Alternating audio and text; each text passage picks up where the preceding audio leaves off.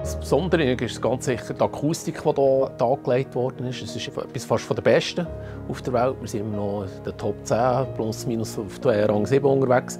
Und ich sage immer das Gleiche, es ist eines der schönsten Häuser im Kanton Luzern, und wo man dann arbeiten kann und wo sehr viel gibt und sehr viele Möglichkeiten gibt.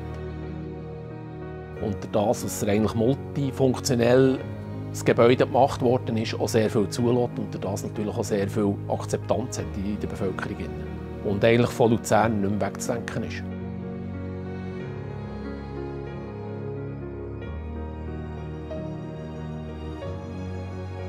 Der Ursprung war eigentlich schon, schon längere Gedanken, dass man Fälle umrüstet.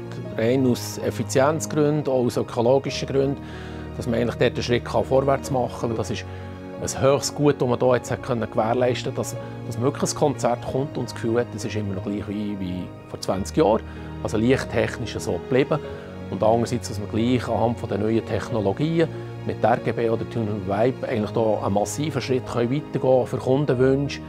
Vorher war es über die FL-Beleuchtung gelöst. Wir hatten Flächen oder Räume oder Flächen, die schlecht beleuchtet waren, die eigentlich der Norm heutzutage nicht mehr entsprechen. Und demzufolge hat man Lösungen finden, dass man Eingriffe in die Decke machen die architektonisch nicht irgendeinen Einfluss hatten oder das architektonische Bild beeinflusst hat. Und natürlich der, grösste Faktor ist äh, immer bei der Notbeleuchtung, dass Zuverlässigkeit gewährt ist und was wir wirklich wie soll sagen, der Norm entsprechen können, was wir äh, wie soll sagen, die Zulassungen wieder haben.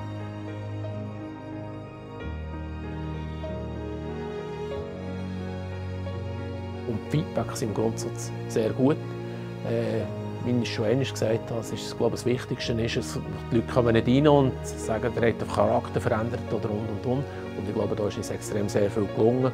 Und mit diesen speziellen Leuchten, die wir zum Teil für das Haus hier, das nicht stangenwahr ist und wir dementsprechend an den Gegebenheiten müssen anpassen Ja, ich glaube, es ist für die Mitarbeiter oder für uns als Haus eine extreme Bereicherung. Für uns ist wichtig, dass wir den Charakter nicht verändern, wie der Saal ist, aber dass man auch den Saal nicht komplett äh, ein anderes Bild gibt oder so. Und gleich, dass man für Kongress vielfältig sind, was man wirklich auf diesen Technologien, wie sie heute auf dem Markt sind, was man die wirklich äh, professionell einsetzen kann. Da ist sicher ein Quantensprung passiert für den Saal, der es vielfältiger macht.